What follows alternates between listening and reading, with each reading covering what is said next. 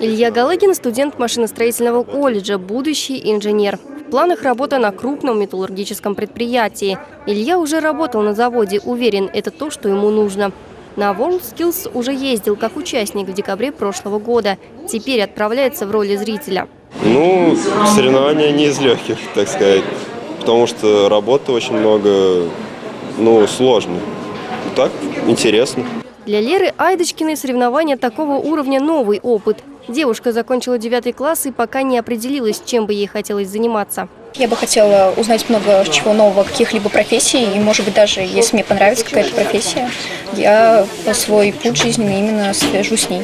WorldSkills – международный чемпионат профессионального мастерства. Его главная цель – популяризация рабочих профессий. Первые состязания прошли в начале 20 века в Испании. Сегодня соревнуются по 45 компетенциям. Для удобства их разделили на 6 направлений. Строительные технологии, творчество и дизайн, информационные и производственные технологии, сфера услуг и обслуживание гражданского транспорта. В этом году мировое первенство проходит в России. Чтобы познакомиться с новыми профессиями и технологиями будущего, из Самары в Казань отправились 90 самых успешных школьников и студентов СПО.